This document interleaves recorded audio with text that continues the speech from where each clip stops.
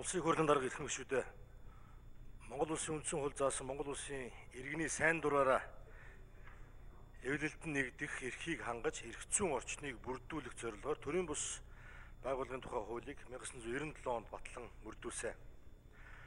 Тус хууль хэрэгжижснээс хойш 24 жилийн хугацаанд нийгмийн өөрчлөлтийг дагаж төрийн бус байгууллагын үйл ажиллагааны чиглэл цар хүрээ нэмэгдэж зохион байгуулалтын хэлбэрт гарсан өөрчлөлтийн дагуу төрийн бус байгууллагын эрх зүйн зохицуултыг шинжлэх иргэний хуультай нийцүүлэх зэрэг олон нөхцөл шаардлага үүссэн төдийгүй Аз намхан талын бүсийн мөнгө угаахтай тэмцэх байгууллагаас ирүүлсэн зөвлөмжийн дагуу төрийн бус байгууллагын эрх зүйн орчныг шинжлэх шаардлага бий болсон.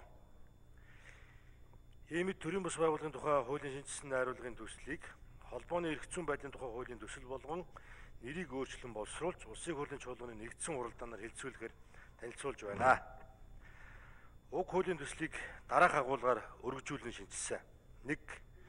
Холбооны эрх зүйн байдлыг иргэний хууль заасан ашигын төлөө бус хуулийн этгээдийн төрөлд нийцүүлэн тодорхойлж иргэд эвлэлдэн нэгдэх эрхээ хуулийн этгээдийн эрхтэй болгон болон эрхгүйгээр хэрэгжүүлэх боломжийг тодруулан тусглаа.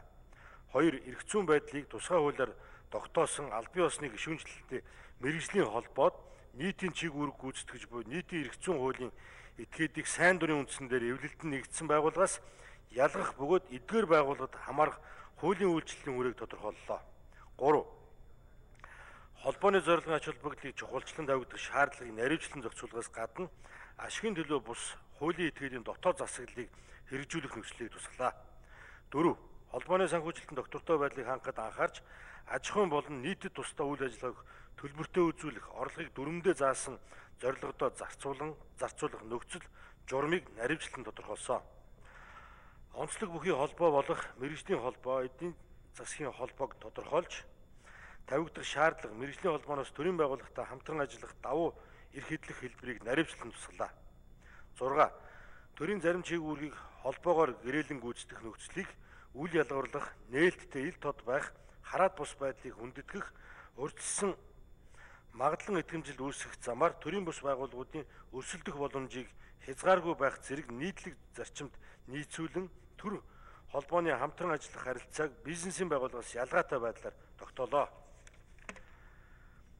Түүнчлэн холбооны хариуцлагыг нэмэгдүүлэх, үйл ажиллагаанд ил тод байх зарчмыг хэрэгжүүлэхэд анхаарч төрийн чиг үүргийг хэрэгжүүлж байгаа болон нийтэд тустай үйл ажиллагаа эрхэлж татварын хөнгөлөлт чөлөөлөлт эдэлж байгаа бол тухайн үйл ажиллагаатай холбоотой санхүү татвар үйл ажиллагааны тайлангаа холбогдох байгууллагад гаргадаг байдлаар тусгалаа. 7.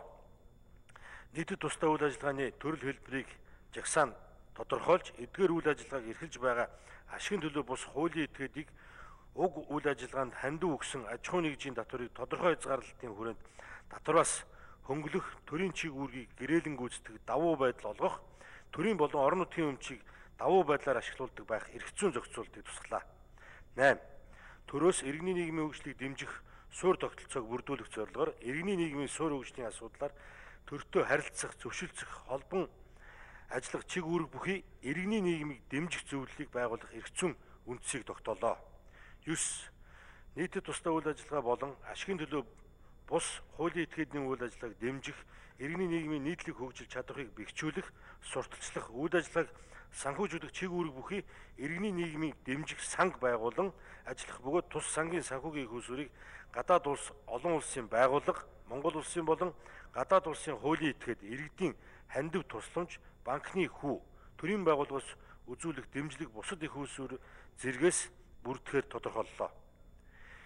Энэхүү хуулийн төсөл бодлогдснаар иргэний хуулийн ашигын төлөө бус хуулийн этгээдийн төрлөөр буюу холбоо сангийн хэлбэрээр ажиллах нөхцөл бүрдэж эрх зүйн зохицуултын хүрээнд үүсэт байгаа зөрчил хийдэл арилж нэгдсэн зохицуулттай болохоос гадна холбооны санхүүжилтийн доктортой их үзүүртэй болох боломжийг бүрдүүлж татварын хөнгөлөлт чөлөөлөлтөнд хамрагданаа.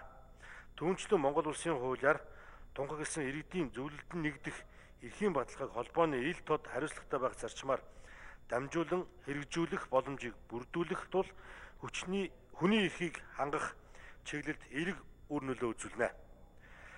Хуулийн төсөлтөд холбогдуулан төрийн бус байгууллагын тухай хуулийг хүчингү болсон тооцох тухай хуулийн төслөөс гадна иргэний хууль, авилгатай тэмцэх хууль, зөрчлийн тухай хууль зэрэг хуульд өөрчлөлт оруулах төслийг боловсрууллаа. Иймд холбооны эрх зүйн байдлын тухай хуулийн төсөл төслийн үзэл баримтлалыг хилцэх хэсгийг шийдвэрлэж өгөхийг хүсье. Анхаарал тавьсан баярлалаа. За баярлалаа. Төслийн талаарх төрийн байгуулалтын байнгын орооны самт өмөлтийг улсын их хурлын гишүүн Цэрэн Жамцын мөнх цэцэг танилцуулнаа. Энд дэр турж байна.